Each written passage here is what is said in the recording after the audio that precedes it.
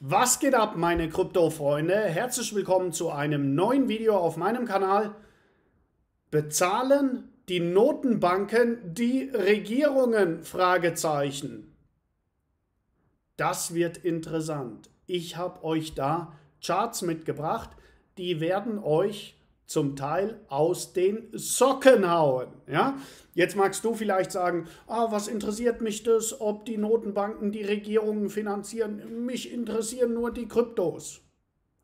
Dann sag ich dir, wenn du das Geldsystem nicht verstehst, wirst du Krypto niemals richtig verstehen. Deswegen ist es so wichtig, genau zu verstehen, was machen die Notenbanken, was passiert an den Aktienmärkten und was passiert im Kryptomarkt. Das Gesamtbild gilt es zu verstehen und dann verstehst du auch ganz genau, in welche Richtung der Bitcoin geht, dann verstehst du, in welche Richtung die Altcoins gehen, weil hier die, die globale Liquidität letztendlich ausschlaggebend ist. Und die globale Liquidität wird vor allem sehr maßgeblich bestimmt durch die Notenbanken auf der einen, Seite und die Regierungen auf der anderen Seite. Und was da im Hintergrund passiert, worüber selten berichtet wird, das schauen wir uns heute an. Ich würde sagen, wir gehen direkt rein. Zunächst erstmal, am Freitag sind die Aktienmärkte gestiegen. Hier der SP hat eine krasse Rallye hingelegt. Alle haben sich gefreut, ja, aber kaum einer wusste, warum. Ja. Andere haben sich gefreut, wow, der Nasdaq ist voll nach oben gegangen. 1,44 Prozent auch am Freitag. Ja, alle Märkte gehen nach oben. Was ist denn da los? Ja, da sage ich immer, schau dir die Liquidität an. Die Liquidität, wovon geht die aus? Von den Notenbanken dieser Welt. Und da habe ich euch hier einen Artikel von Zero Hedge mitgebracht. Und es gibt diese Quellen, man muss sie nur finden. Das heißt, ich bin nicht der Einzige, der das erkennt. Es gibt noch andere. Ja, du musst nur ein bisschen recherchieren, dann findest du die schon. Und er schreibt hier: Treasury is going to issue more bills and Fed will buy more of them as well.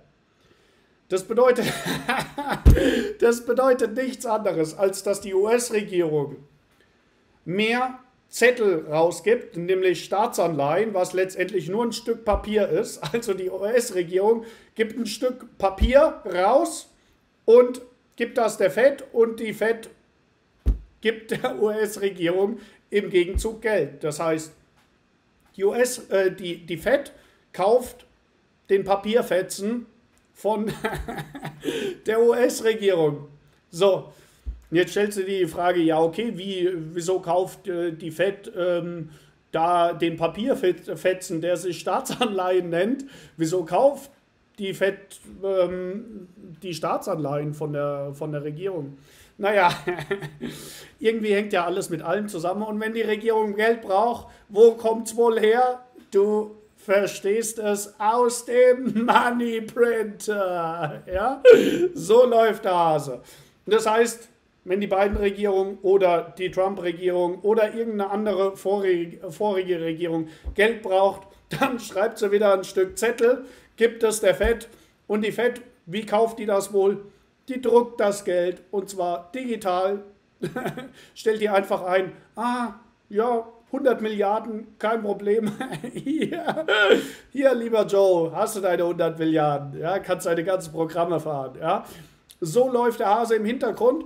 Und weil diese Nachricht rausgekommen ist gestern, dass hier weiter Zettel ausgestellt werden von der US-Regierung, die die Notenbank abkauft, bedeutet das nichts anderes, als dass weiter Liquidität ins System gepumpt wird. Denn das Geld wird gedruckt, wird der US-Regierung gegeben und die US-Regierung schießt es natürlich in die Märkte bzw. in die Wirtschaft. Ja? Und immer, wenn die Geldmenge sich ausdehnt, in so einem Fall, steigen die Aktienmärkte. Ja? Das heißt, die Liquidität treibt die Märkte. Und das war der Grund, warum der SP und der Nasdaq so krass gestiegen sind. Und das ist der Grund, warum sie weiter steigen werden, denn die US-Regierung braucht ja auch in Zukunft Geld. Ja? Bevor wir zu dem chinesischen Chart gehen, schauen wir hier erst den Chart zur US-Regierung an. Und was wir hier sehen, US National Debt rising 1 Trillion, was auf Deutsch Billionen ist, in 100 Tagen. Eine Billion an Schulden zugelegt in 100 Tagen hat die US-Regierung. Ja, wie hat sie es gemacht?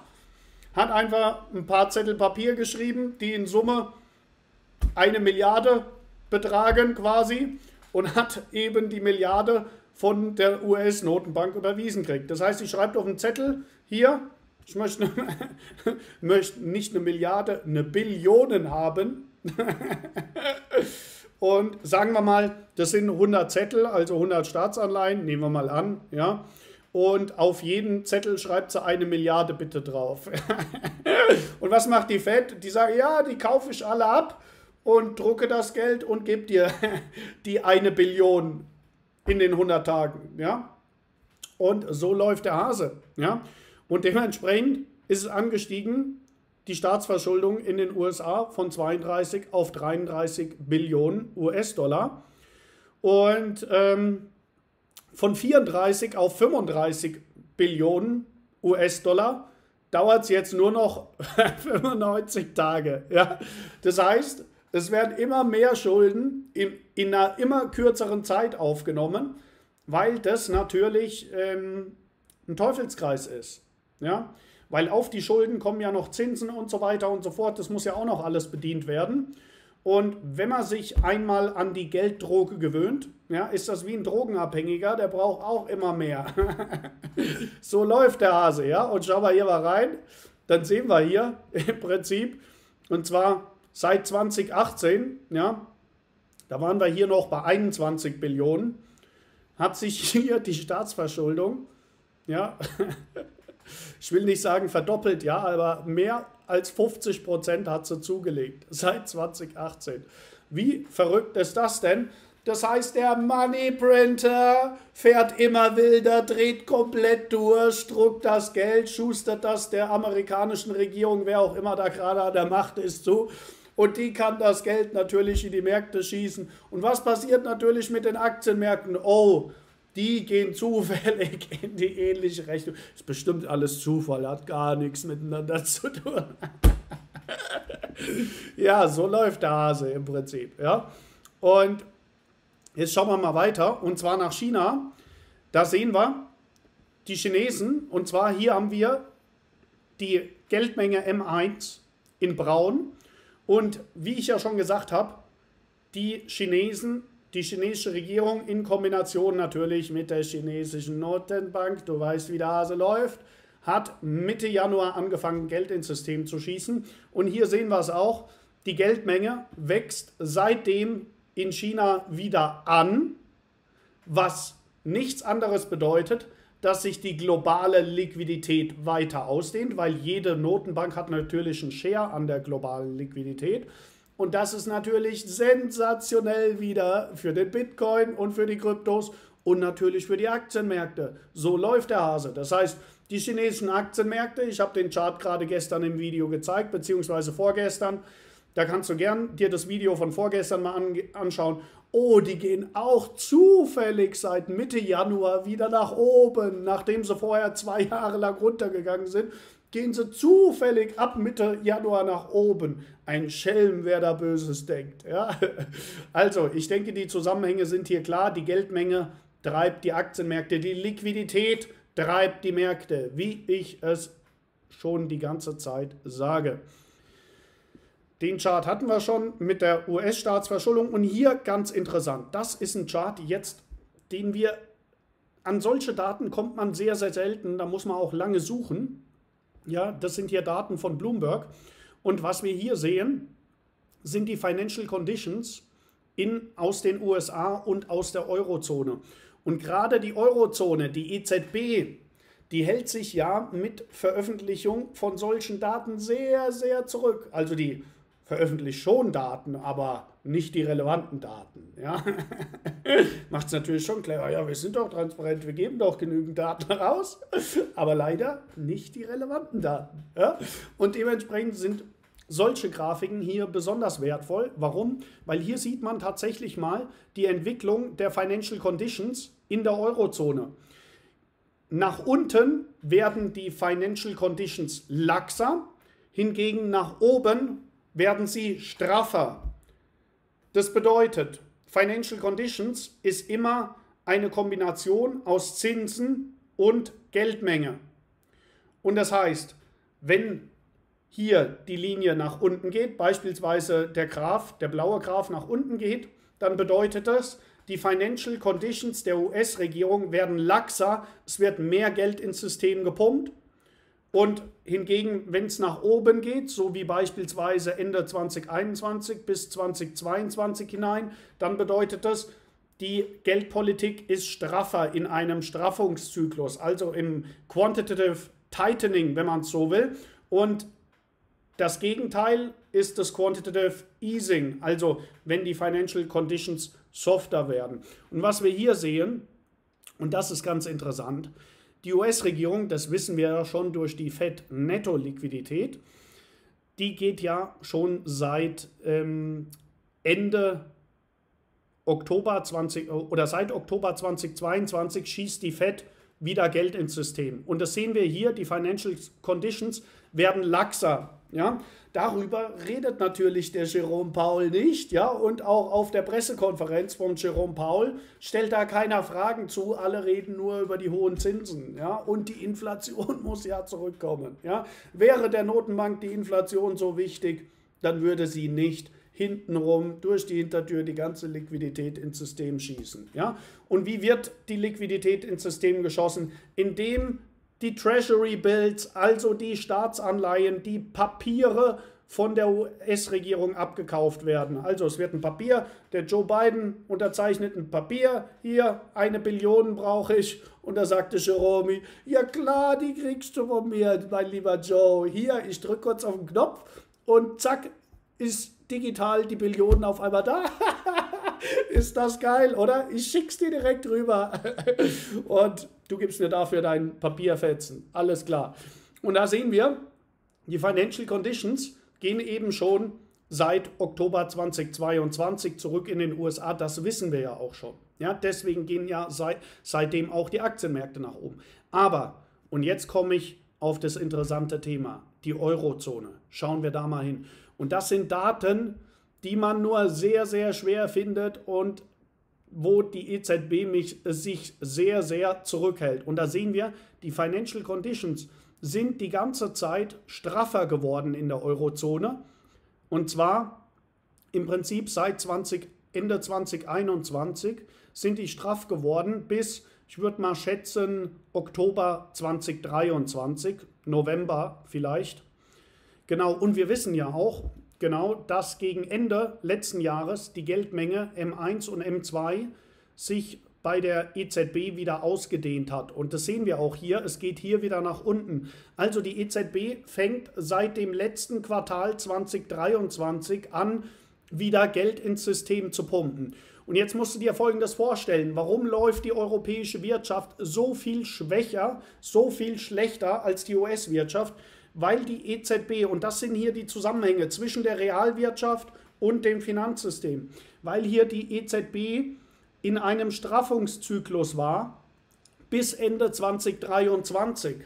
Und dadurch ist die Eurozone in die Rezession gerutscht, vor allem Deutschland schmiert ja komplett ähm, äh, stark ab, ja, weil eben auch ähm, die Liquidität in der Wirtschaft fehlt, ja, weil die ja, Schuldenbremse in Deutschland ja, äh, angeblich so wichtig ist.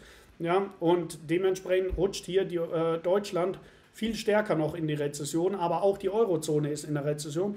Jetzt scheinen gegen Ende 2023 Christine Lagarde und diejenigen, die den europäischen Money Printer kontrollieren, also den Money Printer in der Eurozone, um genau zu sein. Die haben gesagt, okay, jetzt reicht es mal so langsam mit Rezession und so weiter. Jetzt müssen wir mal schauen, dass wir hier den Money Printer anschmeißen, damit das wieder in die richtige Richtung geht. Und deswegen kannst du auch erwarten, dass wir jetzt wieder leichtes Wachstum bekommen, weil das sind natürlich auch Timelags, die hier auftreten. Ja, bis das Wachstum dann in der Realwirtschaft auch sichtbar wird.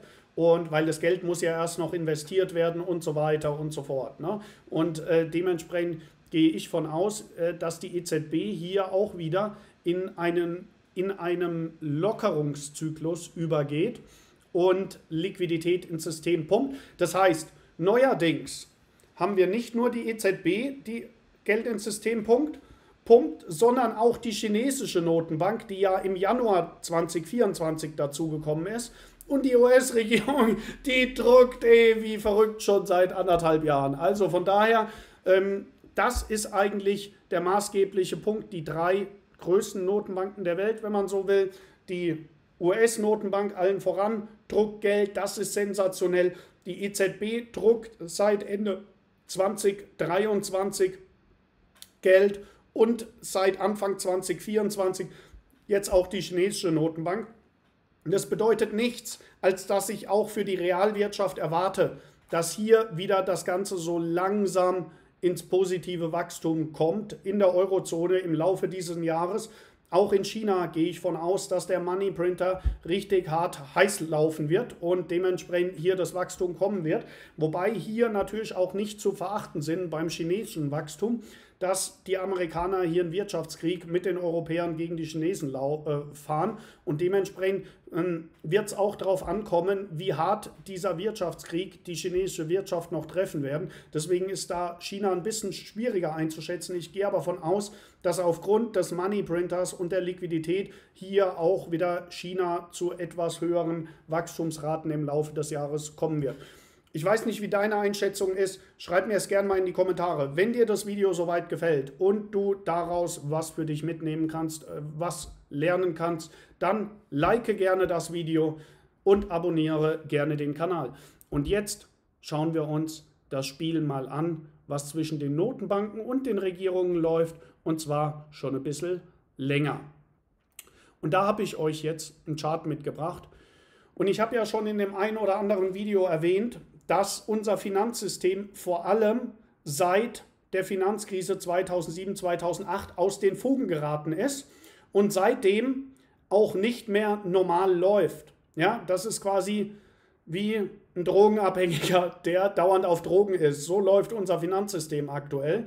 Ja, weil eben 2007, 2008 das Ganze offenbart hat, dass das nicht nachhaltig ist und eben zu Verwerfungen führt, wenn man eben seit 1971 den Goldstandard nicht mehr hat und seitdem Geld drucken kann. Und äh, dementsprechend führt das früher oder später zu Verwerfungen im Finanzsystem. Warum? Weil die Anreizstrukturen nicht mehr so funktionieren, wie sie in einem gesunden Geldsystem funktionieren würden. Und was sehen wir hier? Wir sehen die Fettbilanz, das Balance Sheet. Und wir sehen hier, dass in Blau hier die Banken gerettet wurden. Ja? Da hat die US-Notenbank die Banken mit Liquidität geflutet und so den Bankensektor gerettet, nachdem ja Lehman Brothers pleite gegangen ist. Und damit da kein Kaskadeneffekt entsteht, ist die US-Notenbank eingesprungen. Was wir auch sehen, die US-Notenbank hat den Banken die ganzen Schrottpapiere, was die Immobilienkredite angeht, abgekauft. Ja? Es war ja eine Immobilienblase, weil eben jeder einen Kredit bekommen hat, ja, der nur einen 400-Euro-Job hat, hat eine Mio Kredit bekommen für sein Haus. Ja, wie du zurückzahlst, mir egal. Ich bin Banker, ich bekomme eben Boni, wenn ich dir einen Kredit gebe, ist mir scheißegal, wie deine Bonität ist. Ähm, ich gebe dir einfach den Kredit. So, so lief das im Prinzip. Ja. Und ähm, dementsprechend konnten dann bei den Zinsanhebungen in der Folge die, Häusle, äh, die, die Privatpersonen mit ihren 400-Euro-Jobs die Kredite nicht mehr bedienen, weil die Zinsen angestiegen sind und die hatten ja keine Zinsbindung. Und dementsprechend ist dann einer nach dem anderen ausgefallen und dementsprechend gab es dann den Kaskadeneffekt im Immobiliensektor. Und wir sehen, die US-Notenbank hat diese ganzen Schrottpapiere abgekauft. das heißt, die Finanzkrise 2007, 2008 ist nicht weg, die steckt nur in der Bilanz der US-Notenbank. Ja? Wie verrückt ist das denn? Und als ob das nicht reicht, was macht die US-Notenbank seit jeher? Und das sehen wir hier in hellgrau. Sie finanziert die Regierungen, weil was haben wir hier? Staatsanleihen. Staatsanleihen, wie eben schon gesagt habe, ist quasi die Regierungen und hier hatten wir George Bush, dann Obama, dann Trump und so weiter und so fort und es geht natürlich noch viel exzessiver bis heute. Der Chart hört leider 2017 auf, aber im Prinzip ähm, kannst du ja weiterdenken, wie der Hase läuft. Ja? Die Regierungen haben immer dieses Stück Zettelpapiere ausgefüllt, der FED gegeben und die FED hat der Regierung immer Geld gegeben. Und zwar, wir sprechen hier von Milliarden. Inzwischen sind wir natürlich da auch schon im Billionenbereich. Und daran siehst du, die US-Notenbank finanziert die US-Regierung. Ja? Und wie läuft der Hase? Indem man ein Stück Zettel Papier ausfüllt und dafür bekommt man Geld. Stell dir mal vor, du könntest es machen. wie geil wäre das? Und dann, wenn du dir das vorstellst, wie wäre denn dein Ausgabenverhalten, wenn du einfach sagen könntest, oh, ich schreibe mal eine Milliarde drauf, hier EZB, bitte überweis mir das Geld. Würde jeder machen, wie verrückt. Und dementsprechend geben auch die Staaten wie verrückt Geld aus, weil es doch viel einfacher ja, und die Bevölkerung denkt, ja, sie bekommt wieder Wahlgeschenke und so weiter und so fort, dass das natürlich auf Kosten der Inflation geht, früher oder später. Ja. Schau dir doch mal an, wie die Immobilienpreise in den letzten 20 Jahren angestiegen sind. Ja. Und dass das natürlich früher oder später auf Kosten vom eigenen Lebensstandard äh, geht, was die Kaufkraft angeht. Schau, schau dir mal, was macht ein Rentner mit 1500 Euro Rente heute? Kann er noch einigermaßen von leben von der Rente? Manche haben vielleicht sogar nur 1000 Euro. Ja? Die Kaufkraft geht komplett verloren. Ja? Genauso ist es natürlich bei der privaten Vorsorge, wenn man sagt, okay, man hat ähm, einen Sparplan gemacht, ja, oder hat hier eine Riester-Rente abgeschlossen oder was auch immer, ja, oder noch schlimmer, eine Lebensversicherung ja, ähm, mit äh, 3, 4, 5 Prozent Rendite, ja, die Inflation ist aber dauerhaft bei 15 Prozent, ja, und so wird eben die Gesellschaft unterm Strich ausgesaugt, wenn man es so will, ja, und so läuft eben der Hase, das heißt, die Notenbanken finanzieren die Regierung. Ich denke, klarer wird es hier nicht. Ja. Ähm, und ansonsten schauen wir jetzt auf die EZB. Was hat die denn gemacht? Und da sehen wir hier in Blau, die EZB hat eigentlich schon seit Anbeginn der Zeit den Bankensektor gestützt und den Banken Geld gegeben. Ja? Und wenn natürlich die Banken die ganzen Kredite abgekauft bekommen. Hier übrigens auch. Ne? Seit 2007 wurden, wurde noch mehr Liquidität den Banken gegeben und hier war noch die äh, Griechenland-Krise, wo ja, by the way, die europäischen Banken gerettet wurden, ja, französische und deutsche Banken, die vorher den Griechen Kredite gegeben haben und die Griechen das nicht zurückzahlen konnten, was ja unterm Strich nichts anderes als eine Rettung der eigenen heimischen Banken ist, was die EZB damals gemacht hat. Ja. Und jetzt musst du dir folgende Situation vorstellen. Stell dir mal vor, du kannst ein Risiko eingehen und musst aber nicht haften. Die ganzen Bankmanager, die die ganzen Immobilienkredite und sonstige Kredite vergeben haben vor 2007 und auch jetzt noch, ja, die, wiss, die wissen ja jetzt, naja, wenn irgendwas kollabiert, wir sind eh too big to fail, dann kauft die Notenbank uns das ab. Was für ein Anreizsystem haben die Bankmanager wohl? Die machen einfach weiter wie bisher. Warum? Weil sie können die Risiken eingehen, können die Rendite mitnehmen und müssen aber nicht haften, weil die Notenbank schießt ja die Liquidität rein und kauft diese ganzen Schrottpapiere ab. Das ist ungefähr so, stell dir vor, du kannst in den Supermarkt gehen, kannst ja alles mitnehmen, musst gar nicht an die Kasse, kannst einfach vorbeilaufen und kannst heimgehen und musst gar nicht dafür haften. So läuft das im Bankensektor, wenn man so will. Es ist wilder Westen und wenn du denkst, da hat sich irgendwas dran geändert, ich sage dir, da wird sich gar nichts mehr dran ändern. Im Gegenteil, das wird noch schlimmer. Weil, jetzt musst du dir ja vorstellen, dass die Banken inzwischen die Notenbanken gekapert haben. Wie? Weil die Banken können immer mehr verrückte Kredite verkaufen mit irgendwelchen Risiken, ja, und wenn dann zehn Jahre später die Risiken zuschlagen, da sind die Bankmanager schon längst weg über alle Berge und retten muss ja dann wieder die Notenbank weil sonst kollabiert ja unser Finanzsystem. Das heißt, am längeren Hebel sitzt inzwischen nicht mehr die Notenbank, ja, sondern am längeren Hebel sitzen inzwischen die Banken, weil sie genau wissen, die Notenbank kann gar nicht anders als uns retten, weil wir sind ja too big to fail. so läuft der Hase. Das heißt, die Banken haben die Notenbanken gekapert. Und hier siehst du in der Eurozone, dass auch seit jeher die EZB die Staaten finanziert hat. Nämlich in Grau hier unten auch die Anleihen wieder, also die Papierzettel von den Regierungen an, an die EZB, bitte doch Geld zu überweisen. Ja? So läuft der Hase. Ja, wenn der Olaf Geld braucht, ja, zum Beispiel für den Doppelwumms, ja, zum Beispiel für die Wärmepumpen, um das zu subventionieren, oder zum Beispiel für die Bundeswehr, oder wenn die Eurozone, die EU, mal Geld braucht, wenn die EU Geld braucht für 100 Milliarden an Zelensky, an die Ukraine. Woher kommt das Geld wohl? Ja? Der Money Printer war schon immer die Voraussetzung, um Umsatz mit Krieg zu machen.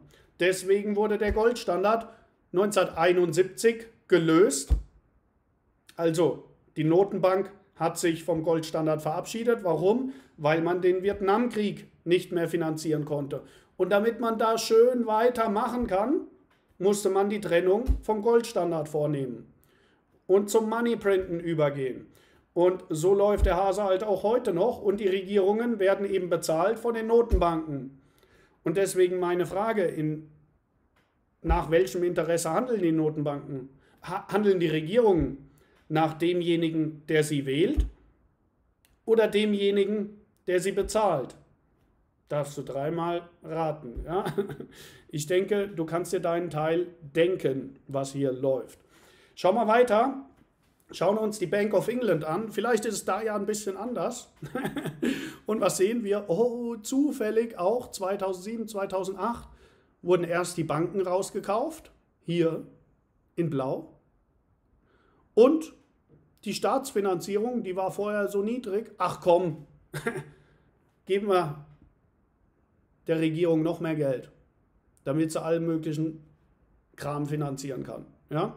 Und vor allem, dass Schulden mit wieder neuen Schulden getilgt werden können und so weiter und so fort. Schau mal, in was für einem Ausmaß. Ich würde sagen, Großbritannien und deswegen ist das britische Pfund auch auf dem Weg nach unten, weil hier die Notenbank im Verhältnis zum BIP so viel Geld druckt ja, und hier so krass die Regierung bezahlt, finanziert, ja, dass hier die Geldmenge so stark ansteigt, dass eben das britische Pfund, was früher mal echte Stärke hatte, inzwischen richtig schwach geworden ist und immer schwächer wird.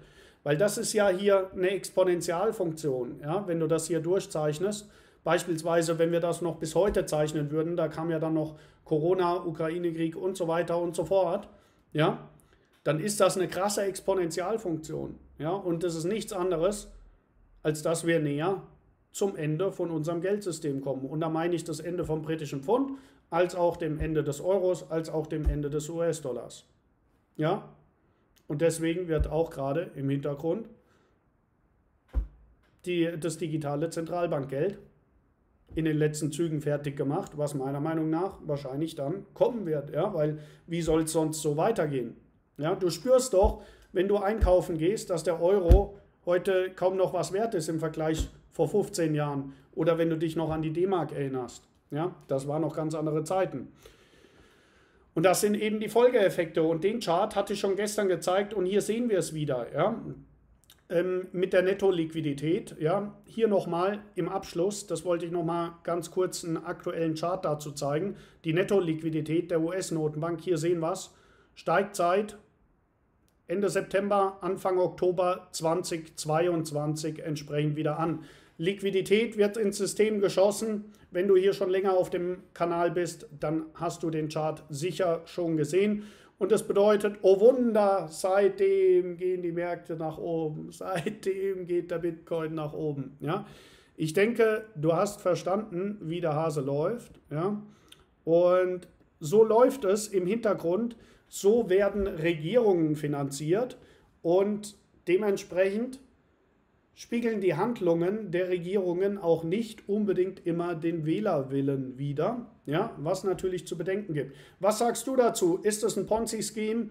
Ist das ein verrücktes Geldsystem, ein aus den Fugen geratenes Geldsystem? Wie siehst du die Sache? Wie lange kann das noch weitergehen? Schreib mir es gerne unten in die Kommentare. Wenn dir das Video gefallen hat und du etwas zurückgeben möchtest, du den Kanal unterstützen möchtest und möchtest, dass mehr Leute diese Informationen erhalten, dann like das Video, abonniere den Kanal und teile das Video mit den Leuten, wo du denkst, die sollten das unbedingt wissen, worüber ich hier gesprochen habe. Und ansonsten würde ich sagen, denke immer an eine Sache. Folge immer dem Money Printer! Denn du kannst das Ganze nutzen mit den Kryptos. Der Money Printer ist dein Freund. In diesem Sinne, ich bin raus. Ciao, ciao.